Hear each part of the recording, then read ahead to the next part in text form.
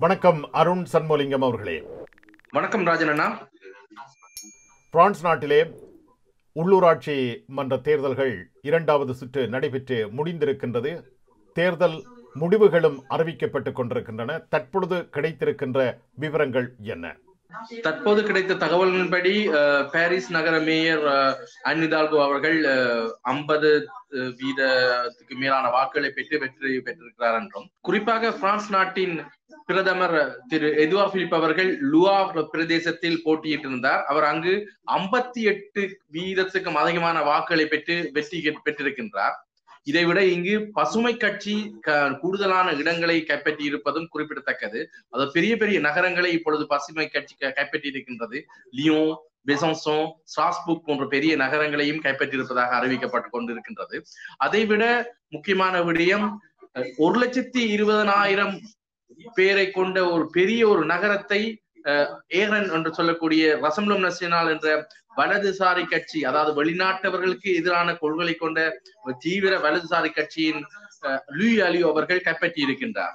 தொண்ணூற்றி ஐந்தாம் ஆண்டு கைப்பற்றப்பட்ட தூரோன் நகரத்தை போன்று ஒரு லட்சத்துக்கு மேற்பட்ட மக்கள் வாழும் இந்த பகுதியை கைப்பற்றி இருப்பதானது ஒரு பெரிய ஒரு மாபெரும் வெற்றி என்பது அந்த அஹ், ஏரன் கட்சிக்கு ஏ- ஏற்பட்டிருக்கின்றது.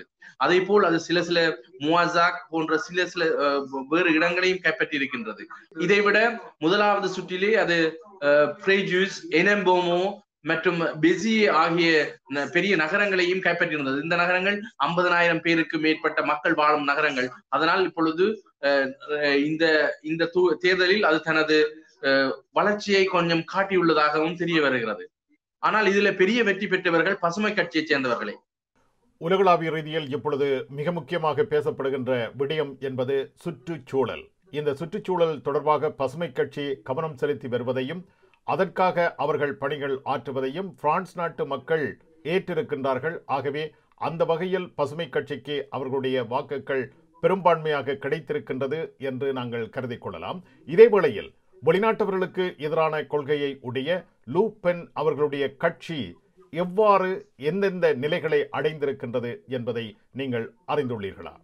இந்த ஈரன் கட்சியானது இப்பொழுது அந்த அஹ், என்ற ஒரு லட்சத்தி இருபதாயிரம் மக்களை கொண்ட ஒரு இடத்தை கைப்பற்றி இருப்பது என்பது ஒரு பெரிய ஒரு விடயம். ஏனென்றால் அங் இதுவரை அவர்கள் இப்படியான பெரிய நகரங்களை கைப்பற்றியது ஒரு ஒரு தடவை நடந்திருக்கின்றது. அதாவது தொண்ணூற்றி ஐந்தாம் ஆண்டு அஹ், தூலோன் நகரத்தை அவர்கள் கைப்பற்றி இருந்தார்கள். அப்பொழுது பல அப்பொழுது இங்கு பல எதிர்ப்புகள் அவர்களுக்காக ஏற்பட்டிருந்தன. ஆனால் இந்த முறை அவர்கள் எல்லா கட்சிகளும் அவர்களை எதிர்த்து போட்டியிட்ட பொழுதும் அவர் ஒன்று கூடி போட்டியிட்டன. ஆனால் இரண்டாவது சுற்றிலே அவர்கள் ஐம்பத்தி மூன்று வீதமான வாக்குகளை பெற்று லூயி அலியோ என்ற அஹ், மரின் லுப்பன் அதாவது இப்பொழுது அஹ், ஏரன் கட்சியின் தலைவி மரின் லுப்பன் அவர்களுடைய முன்னே நாள் காதலன் அவர்கள் இப்பொழுது அந்த நகரத்தை கைப்பற்றி இருப்பது ஒரு பெரிய விடயமாகும். இதேவேளை நாட்டினுடைய அதிபராக இருக்கின்ற இமானுவேல் மெக்ரோ அவர்களுடைய கட்சி எந்த நிலையை அடைந்திருக்கின்றது? இம்மானுவேல மக்ரோன் அவர்களுடைய எல்லேரம் கட்சி படு தோல்வியை கண்டிருப்பதென்றே அறிவித்திருக்கலாம். அதாவது ஆனால் இங்க இந்த பிரான்சை பொறுத்தவரையிலே நகர சபை தேர்தல்கள் அது நகரங்களுக்கு இடையிலே அங்கு மக்கள் நகர அந்த நகரத்தை சேர்ந்த அந்த ம- அந்த நகரத்தைச் சேர்ந்த மேயர்கள் அதாவது அந்த நகரத்தை சேர்ந்த நகர பிதாக்கள் அந்த தனிப்பட்ட ஒரு மனிதருக்காகத்தான் அந்த வாக்குகளை வ- அளிப்பது வழக்கம். அதனால் இந்த இந்த தேர்தலில் அவர்களுடைய கட்சி அஹ், மக்களுடைய எல்லேரம் அதாவது லா ரிப்பப்ளிகன்ஸ் மார்ச் கட்சி கடும் தோல்விகளை சந்தித்திருக்கின்றது. கொரோனா தொற்று என்பது மீண்டும் தலையெடுத்திருக்கின்ற நிலையில் இப்பொழுது ஆங்காங்கே மீண்டும் கொரோனா கொரோனா இரண்டாவது அலை என்ற பேச்சுக்கள் பிரான்ஸ் நாட்டிலும் எழுந்திருக்கின்ற நிலையில் மக்கள் சுதந்திரமாக அதாவது வளமை போன்று சென்று வாக்குச்சாவடிகளில் வாக்களித்திருக்கின்றார்களா? அவர்கள் வாக்களித்த வீதம் என்பது எவ்வாறு இருக்கிறது?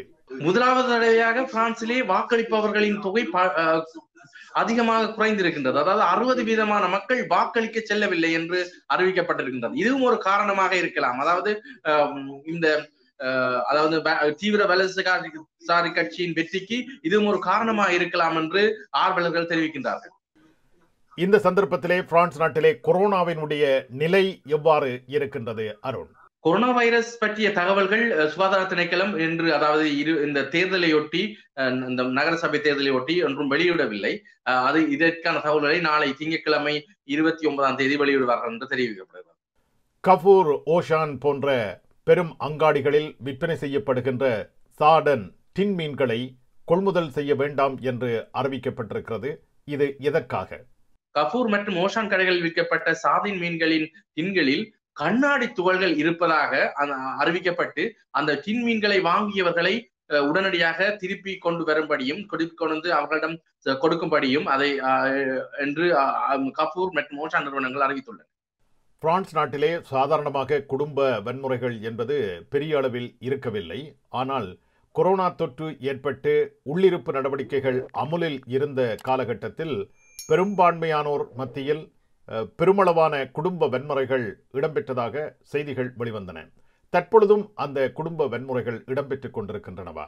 ஆம் இன்று காலை இங்கு ரோயல் மெல்மிசோன் ஓதிசென் மாவட்டத்தில் உள்ள ரோயல் மெல்மிசோ என்ற இடத்தில் ஒருவர் ஐம்பத்தி நாலு வயதான ஒருவர் தனது மனைவியை கத்தியால் குற்று குத்தி கொன்று கொண்டிருப்பதாக தெரிவிக்கப்படுகிறது. இந்த வருடம் மட்டும் முப்பத்தி நாலு பெண்கள் வருட ஆரம்பத்திலிருந்து இன்று வரை முப்பத்தி நாலு பெண்கள் இப்படி கொல்லப்பட்டிருப்பதாக தெரிவிக்கப்படுகிறது. இந்த கொரோனா தொற்று காலத்தில் இப்படியான கொலைகள் நட பெற்றுக் கொண்டிருந்தன. ஆனால் ஐஎஃப்ஏ செய்தி நிறுவனம் தந்த தரவுகளின்படி அதாவது கடந்த வருடம் இரண்டாயிரத்தி பத்தொன்பதாம் ஆண்டு நூற்றி இருபத்தி ஒன்பது பெண்கள் இந்த கொலைகள் கொலைகள் செய்யப்பட்டிருப்பதாகவும் அறிவிக்கப்பட்டுள்ளது. அதைவிட மூன்று ஒவ்வொரு மூன்று நாளைக்கும் ஒரு பெண் பிரான்சில் கொல்லப்படுவதாகவும் அறிவிக்கப்பட்டுள்ளது. நன்றி அருண் சண்மலிங்கம் அவர்களே. மீண்டும் சந்திப்போம். வணக்கம். வணக்கம். நன்றி அண்ணன்